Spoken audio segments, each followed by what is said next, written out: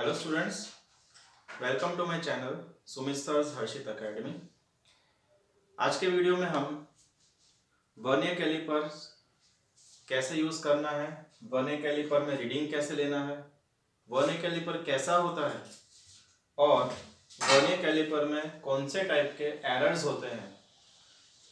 यानी vernier caliper totally क्या है, किस तरह से उसे यूज़ करना है, वो सब आज वीडियो में आपको एक्सप्लेन करने वाला हूँ। बस एक रिक्वेस्ट ये है कि वीडियो आप उसकी स्पीड से जाने देना फॉरवर्ड ज़्यादा मत करना, शांति से देखना। इंपॉर्टेंट टॉपिक है एग्ज़ाम के लिए राइट तो आइए देखते हैं वर्ने कैलिपर्स जो बने हैं, वो उसमें और हमारे जो स्केल है, जो हम नॉर्मली स्कूल में स्केल यूज़ करते हैं, उसमें ऐसा तो क्या प्रॉब्लम हुआ क्या वर्नियर कैलिपर्स का इन्वेंशन हुआ? किसी भी इंस्ट्रूमेंट का इन्वेंट होने के पीछे कोई ना कोई रीजन ज़रूर होता है। तो इसका ऐसा क्या रीजन है? तो सबसे पहले वो देखते हैं। हम जब नॉर्मली स्केल को यूज़ करते हैं, जो हम स्कूल टाइम से कॉलेज में भी स्ट्रेट लाइन ड्रॉ करने के लिए जो हम स्केल यूज़ करते हैं, वो स्केल में क्या होता है? ज़ीरो से स्टार्ट होगा अगर स्केल तो one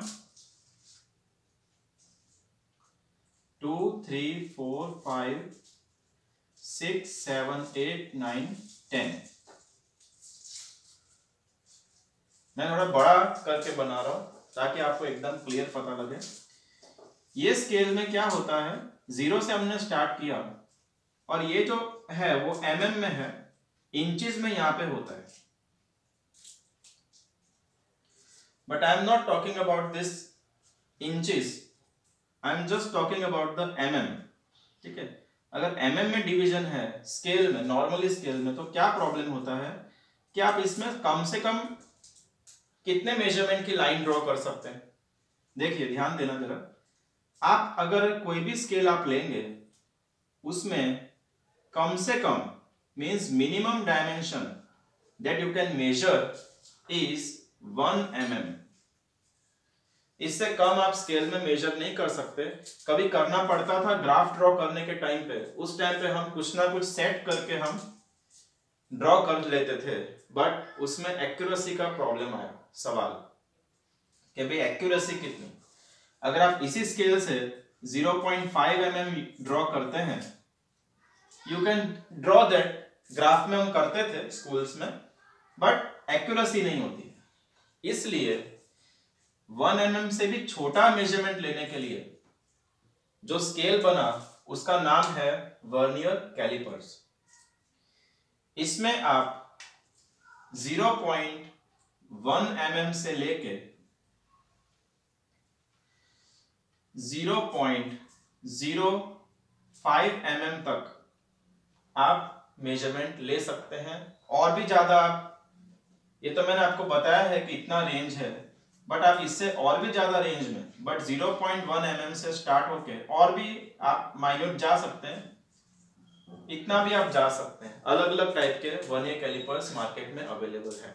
बट कहने का मतलब मेरा यही है कि 1 mm से भी छोटा डायमेंशन आपको चाहिए एक्यूरेटली तो हम वर्नियर कैलिपर्स का यूज़ करते हैं। ठीक है? इस तरह से वर्नियर कैलिपर्स का इन्वेंशन हुआ। इसमें भी प्रॉब्लम जो है उसका सॉल्यूशन इससे भी एडवांस्ड जो मेजरिंग इंस्ट्रूमेंट है, उसमें हम देखेंगे, इसके बाद का एक वीडियो उस पर भी बनने वाला है। इसके बाद में माइक्रोमीटर का वीडियो बनाने वाला हूँ तो इससे भी हाई एक्यूरेसी उसमें आपको मिलेगी। ठीक है? चलो, ये मैंने आपको बताया कि क्यों हम वर्नियर कैलिपर यूज़ करते हैं। बहुत ही इंपॉर्टेंट है, हर एक चीज़ देखना। सिर्फ़ और सिर्फ़ एग्ज़ाम पॉइंट ऑफ़ व्यू सिर्फ़ स्टडी करेंगे तो आप मार्क्स तो आ जाएँगे, पर इंडस्ट्री में अगर आपको जब जॉब मिलती है, तब आपको प्रॉब्लम होता है राइट चलो, आगे देखते हैं। अब हम देखते हैं कि जैसे स्क्रीन पे आपको दिख रहा है कि ये एक वर्नियर कैलिपर का मैंने ड्राइंग किया है, ठीक है? अब इसमें कौन से कौन से पार्ट्स हैं, कैसे इसका कंस्ट्रक्शन है? तो हम कंस्ट्रक्शन पे थोड़ा ध्यान देते हैं अभी। तो देखिए, इसमें क्या होता है कि ये जो है A B M N A B M N एक सिर्फ़ और सिर्फ़ इस टाइप का, एक रफ ड्रॉ कर रहा हूँ। इस टाइप का एक स्टील की ट्यूब होती है। स्टील ट्यूब ये जो दिख रहा है आपको सी डी जो क्यू है क्यू होल ये मैंने ड्रॉ नहीं किया। मैंने सिर्फ़ ए बी एम और एन को ड्रॉ किया। ये जो एक ट्यूब होती है या तो एक आ, क्या बोलते हैं उसको? स्टील की एक प्लेट होती है। It is a steel plate और स्टील कौन सा होता है? स्टील के बहुत सारे टाइप्स आते हैं राइट बट ये कौन सा स्टील होता है? टूल स्टील हाई ग्रेड का tool steel very highly finished surface इसका होता है। और इस पे फिर मार्किंग किया होता है राइट जो मैंने यहाँ पे शो किया है। So this is called main scale देखो, यहाँ पे मैंने लिखा है कि इसे हम मेन स्केल बोलते हैं राइट right? और इसके बाद यहाँ पे जो मैं ड्रॉ कर रहा हूँ ऐसे करके शेप है इसका।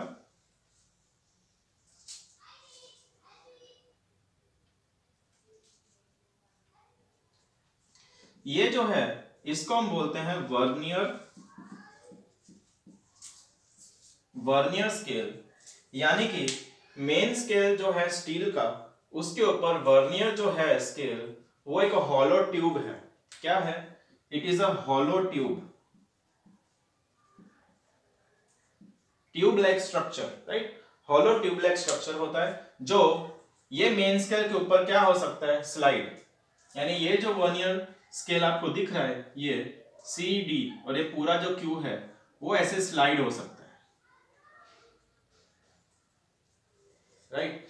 और जैसे जैसे स्लाइड होगा, अगर मैं इसको बाहर की साइड, यानी राइट साइड पे लेके जाऊँगा, स्लाइड करते तो ये जो आपको दिख रहा है, वो भी बाहर निकले। उसी के साथ अटैच होता है। और इसको मैं जैसे ही लेफ़्ट साइड लेके जाऊँगा तो ये भी अंदर की साइड जाएगा। ठीक है? और एक और चीज़ बताऊँगा बाद में, थोड़ी देर के बाद, कि इसमें हम कितने टाइप के डायमेंशन ले सकते हैं। बहुत ही इंपॉर्टेंट क्वेश्चन वाइवास में बहुत पूछते हैं कि भाई वर्नियर स्केल में कितने टाइप के हम डायमेंशन मेजर कर सकते हैं? वो भी हम आगे जाके देखेंगे। तो वीडियो में बने रहेगा फॉरवर्ड मत कीजिएगा, शांति से देखना एकदम डिटेल में। अब वर्नियर स्केल को हम स्लाइड कर सकते हैं, ऐसा इसका कंस्ट्रक्शन है। और इसी के साथ साथ ये जो है, वो भी बाहर निकलता है उसका पार्ट ठीक है? दूसरा, इसमें आपको जो दिया है कि भाई ए बी और सी उसे हम बोलते हैं jaw jaw actually human beings का ये होता है lower jaw and upper jaw जहाँ पे हमारे दांत फिक्स होते हैं. बट इसमें A B C D total four jaws are there which can measure inter diameter and outer diameter वो हम देखेंगे.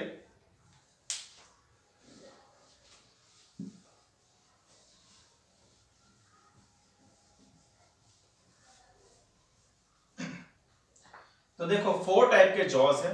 किस तरह से उसका यूज़ होता है, हम वो पहले देख लेते हैं। तो पूरा आपका कंस्ट्रक्शन पार्ट ओवर हो जाएगा। जैसे कि मैंने ये बी पार्ट ड्रॉ किया। Right right? और ये जो है, वो सी डी पार्ट है।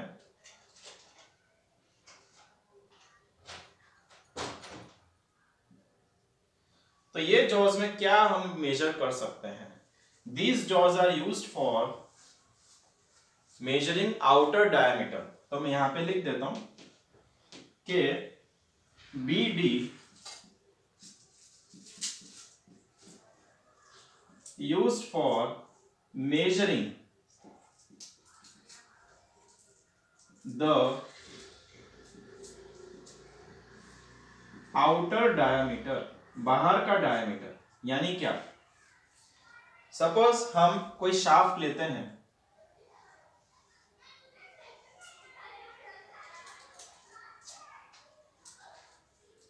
अगर शाफ्ट हॉलो है तो भी ठीक है।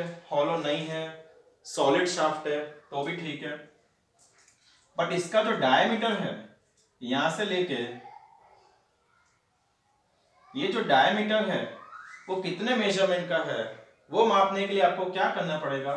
ये जो शाफ्ट है, उसको आपको हटा, उठा के इधर रखना है पहले। कहाँ पे? बी जॉ को टच करना है। ध्यान देना।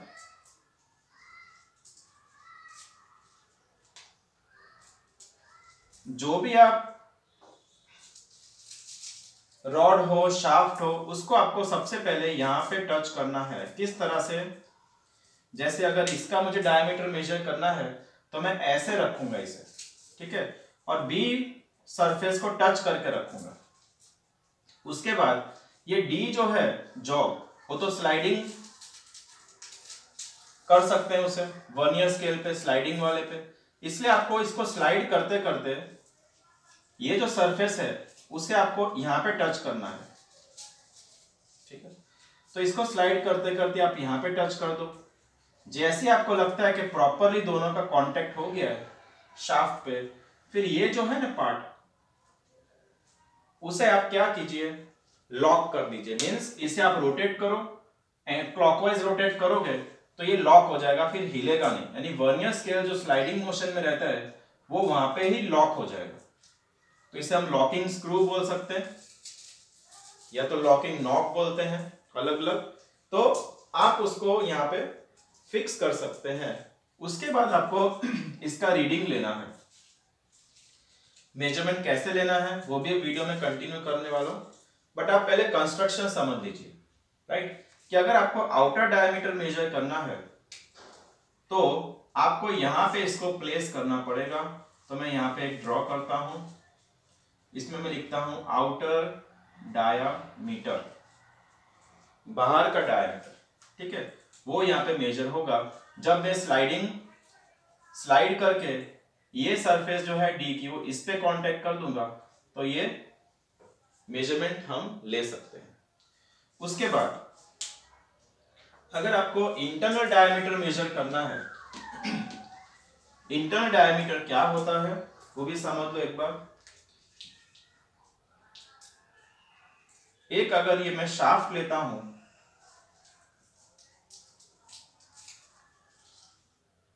उसमें यहाँ पे एक हॉलो शाफ्ट है। देखो सॉलिड यानी क्या होता है? जिसके अंदर कुछ ना हो पूरा फुल मटेरियल हो। कुछ ना हो मतलब होल ना हो। टोटली सॉलिड यानी पूरा का पूरा मटेरियल से भरा हुआ है। उसमें सिर्फ़ आउटर डायमीटर मिलता है। उसे हम बोलते हैं सॉलिड दूसरा आता है हॉलो जिसमें अंदर भी स्पेस होती है जगह होती है। ये मार्कर आराम से आप, आप अंदर रख सकते हैं। जैसे कि पेन का स्टैंड आता है। टेबल पे पेन का स्टैंड पड़ा होता है उसमें हम इसको रख देते हैं। तो वो हो गया हॉलो तो ये हॉलो में दो डायमीटर होते हैं। एक आएगा आईडी और दूसरा आएगा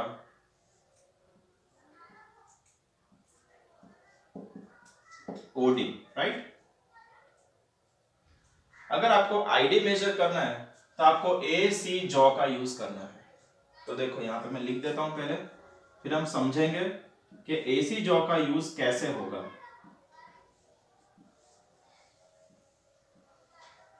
और किस तरह से हम इंटरनल डायमीटर मेजर करेंगे, वो भी हम देखेंगे।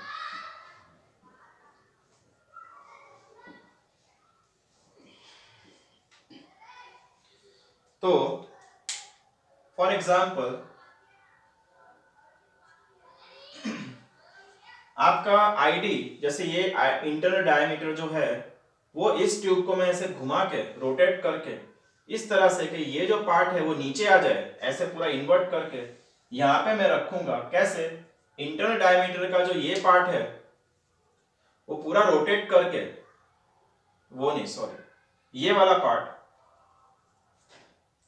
ये पूरा रोटेट करूँगा तो वो पार्ट है ना यहाँ पे आना चाहिए, इस तरह से।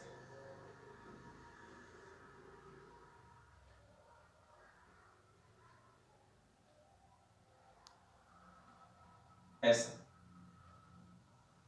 राइट इस तरह से होना चाहिए। बाहर की साइड इसमें क्या होता है? ये सरफेस बी और डी के अंदर आता है। इसमें ऐसा नहीं है। ए और सी के बाहर को आपको उसको रखना है। यानी ए और सी अंदर आएँगे। इसमें बी और डी बाहर रहते हैं ऑब्जेक्ट से। ऐसा रखने के बाद आपको फिर इसमें फिर से स्लाइडिंग को इसमें क्या होता है? स्लाइडिंग वाले स्केल को हम वर्नियर स्केल को लेफ़्ट लेके जाते हैं। ठीक है लेफ़्ट जाता है। पर इसमें उल्टा है। इसमें क्या करना है? सी को आपको राइट लेके जाना है। ऐसे राइट लेके जाना है कि ये अच्छे से उसको फिट हो जाए क्लैंप हो जाए स्पेस ना बचे। उसके बाद इसको फिर से आपको क्लॉकवाइज घुमाना है। उसके बाद आपको रीडिंग लेना है। राइट रीडिंग कैसे लेना है? वो भी आपको इस वीडियो में आगे पता लगेगा। अभी हम सिर्फ़ कंस्ट्रक्शन देख रहे हैं, अच्छे से। तो यहाँ पे ओडी मेजर होगा। यहाँ पे आईडी मेजर होगा। और अगर आपको डेप्थ मेजर करना है तो उसके लिए आप ये पार्ट यूज़ करेंगे। कैसे यूज़ करेंगे? तो यहाँ पे मैं आपको समझाता हूँ। बहुत इंपॉर्टेंट है। वाइवा के लिए बहुत इंपॉर्टेंट क्वेश्चन है। सपोज़ ये एक मैंने यूटेंसिल लिया है, या तो बोले आप बर्तन लिया है। अब ये बर्तन ऐसा है।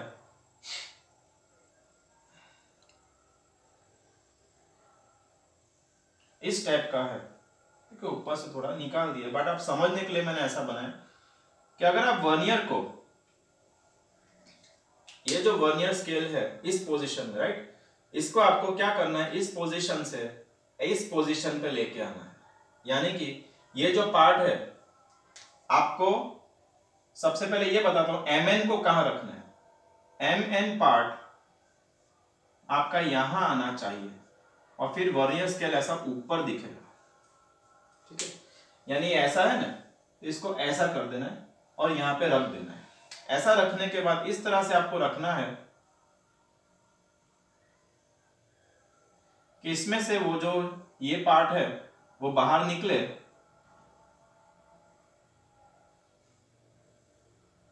और यहाँ पे इसके नीचे बॉटम पे टच करे। तो अगर ये बॉटम पे टच हो जाएगा, उसके बाद फिर से आपको लॉक स्क्रू लगा देना है, जो अभी हमारे केस में इस, यहाँ पे कहीं आएगा लॉक स्क्रू उसको आपको फिट कर देना है, इसको वर्नियर कैलिपर को फिर से बाहर निकाल लेना है और रीडिंग आपको ले लेना है। किस तरह से रीडिंग लेना है? क्लियर तो तीन टाइप के रीडिंग हम ले सकते हैं। Outer diameter inner diameter and depth right okay अब हम आगे देखते हैं कि रीडिंग किस तरह से लेना है? How to take reading construction समझ लिया? अब हम देखेंगे रीडिंग किस तरह से लेना है। तो ध्यान देना। अब ये जो वर्नियर स्केल होता है वर्नियर कैलिपर होता है, उसमें दो टाइप के स्केल आते हैं। एक होता है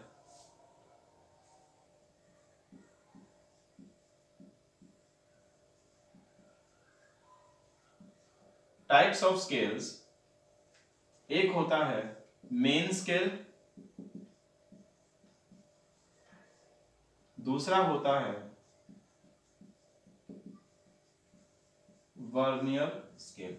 तो मेन स्केल क्या है? ए बी एम एन वो है मेन स्केल वर्नियर स्केल कौन सा है? क्यू जो स्लाइड होता है उसे हम वर्नियर स्केल बोलते हैं। ठीक है? अब रीडिंग कैसे लेना है, वो हम लोग देख लेते हैं।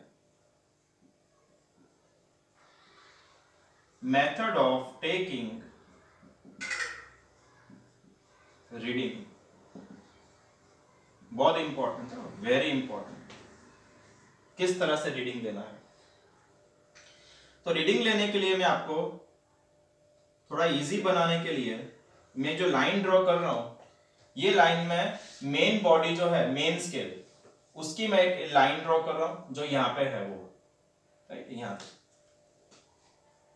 तो ये है ज़ीरो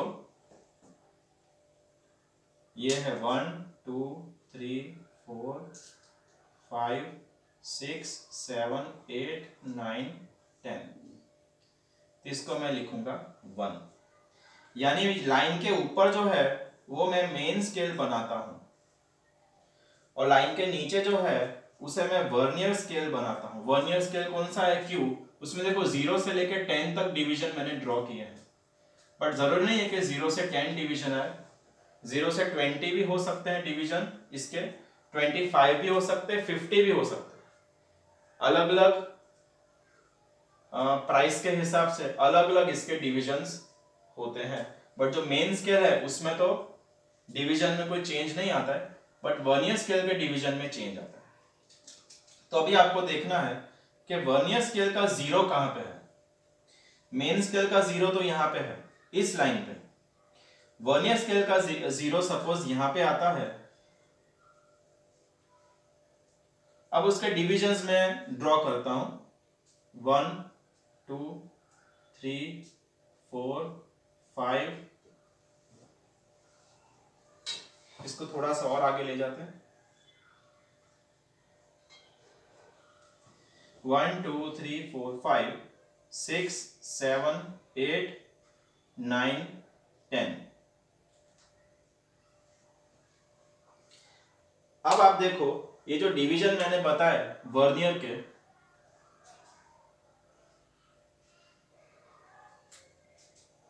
वो टोटल डिवीज़न कितने हैं? वर्नियर के डिविजन है टेन। कैसे? One, two, three, four, five, six, seven, eight, nine, ten. Vernier के टेन डिवीज़न है। मेन स्केल के तो बहुत सारे डिविजन होंगे। अब आपको इसमें यह देखना है कि वर्नियर स्केल का ज़ीरो जो है, वो मेन स्केल के कौन से डिवीज़न से स्टार्ट होता है? ध्यान देना। वर्नियर स्केल का ज़ीरो जो है, वो मेन स्केल के इस वाले डिवीज़न से राइट साइड पे है इस वाले से। और इसका मेज़रमेंट कितना है? One M M, two M M, three M M and four M M. तो इसका मेज़रमेंट है फोर एम एम। ठीक है? और नंबर ऑफ़ डिविजन आपको देखने हैं वर्नियर स्केल के, और उसमें से यह देखना है कि वर्नियर स्केल का कौन सा डिवीज़न मेन स्केल के डिवीज़न से लाइन में आता है। जैसे आप देखो, ये जो डिवीज़न है वर्नियर स्केल का, वो मेन स्केल की लाइन में नहीं है। ये भी नहीं है। देखो, ये भी नहीं है, ये भी नहीं ये भी नहीं ये भी नहीं ये भी नहीं ये भी नहीं ये कोई लाइन में नहीं है बट ये जो डिवीज़न है वो परफेक्टली लाइन में है। ठीक है? अच्छा इतना करने के बाद अभी हम एक फॉर्मूला लिखेंगे। वो फॉर्मूला के हिसाब से आप रीडिंग ले सकते हैं। ठीक है? तो फॉर्मूलाज कौन सी आएँगी? मैं थोड़ा इसको स्पेस बना देता हूँ पहले।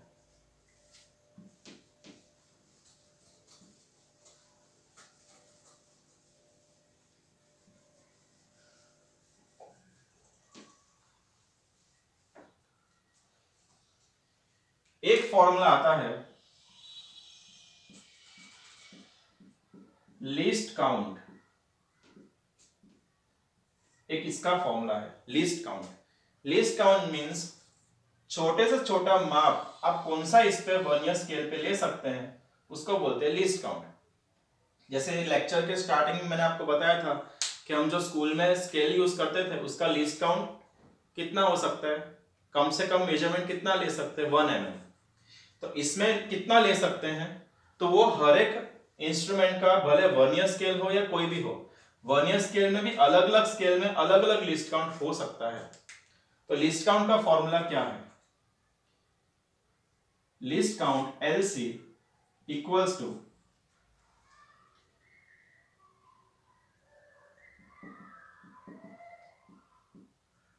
minimum measurement we can take in main scale divide by total number of divisions on vernier scale ये फॉर्मूला है to find out the least count कभी भी आपको न्यूमेरिकल्स में लीस्ट काउंट फाइंड करने का पूछा हो तो पहले ये फॉर्मूला लिखना है। और ये फॉर्मूला का मीनिंग क्या है, वो मैं आपको समझाता हूँ। तो minimum measurement we can take in main scale अब मेन स्केल में मिनिमम मेज़रमेंट कितना आएगा? One M mm. ठीक है? तो हम यहाँ पे क्या लिख देंगे? One M total number of division on vernier scale vernier scale पे यहाँ पे भी आप देखो ज़ीरो से स्टार्ट होता है टेन तक जाता है। तो total number of division ten है वन ईयर स्केल के। इसमें भी देखो total number of division vernier scale के टेन है। तो मैं यहाँ पे क्या लिखूँगा? टेन इसका आंसर क्या आएगा? Zero point one M M यानी कि ये जो ड्राइंग में मैंने vernier scale vernier caliper draw किया है उसका least count zero point one M M है। तो सबसे पहले आपको लिस्ट काउंट फाउंड करना है। उसके बाद क्या करना है? तो मैं यहाँ पे लिखता हूँ। इसको आ, थोड़ी सी स्पेस बनाता हूँ। देख, ध्यान से देखना। अब मैं सेकंड फॉर्मूला लिखता हूँ।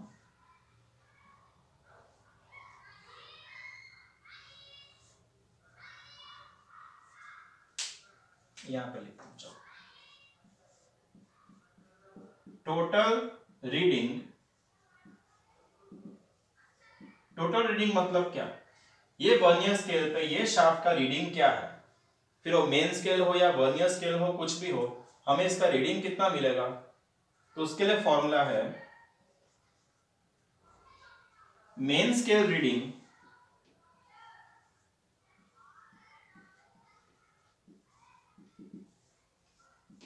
plus least count into number of matching division बहुत इंपॉर्टेंट फॉर्मूला ध्यान से समझना. मेन स्केल रीडिंग यानी कि ये जो मेन स्केल है, उसका हमारा फोर एम एम आएगा यहाँ पे. कैसे? आपको वर्नियर स्केल का ज़ीरो मेन स्केल वाले डिवीज़न से किसके बाद आता है? यानी कि वर्नियर स्केल का जो ज़ीरो है यहाँ पे तो फोर के बाद आता है। तो हमारा मेन स्केल का रीडिंग क्या आएगा? फोर इस क्वेश्चन में राइट तो यहाँ पे मेन स्केल रीडिंग आ जाएगा फोर प्लस लिस्ट काउंट हमने फाइंड किया है ऊपर ही तो वहाँ में लिखूँगा zero point one number of matching division का मतलब वर्नियर स्केल का कौन सा डिवीज़न मेन स्केल की लाइन में आता है? यहाँ पे टेन है, वो टोटल लाइन में है। तो मैं यहाँ पे लिखूँगा टेन क्योंकि टेंथ डिवीज़न इस लाइन में आता है राइट अब इसको हम कैलकुलेट करेंगे, फोर प्लस इसका आंसर आएगा वन, यानी ये हो जाएगा फाइव एम एम। इसका मतलब इस वर्नियर स्केल, ये जो मैंने बताया है, उसका आंसर कितना आएगा? Five M M. बराबर? तो इस तरह से हम रीडिंग लेते हैं। इसके नेक्स्ट वीडियो में मैं एरर के बारे में बताऊँगा। कि वर्नियर स्केल का रीडिंग तो हम लेते हैं ये बट रीडिंग लेने से पहले आपको उसकी एरर उसमें कितनी एरर है वो आपको देखनी पड़ेगी। तो पॉजिटिव एरर हो सकती है नेगेटिव हो सकती है ज़ीरो एरर हो सकती है। तो वो एरर हम लोग देखेंगे। ठीक है? और और भी कोई डाउट हो, आप मुझे पूछ सकते हैं। Thanks for watching score high all the best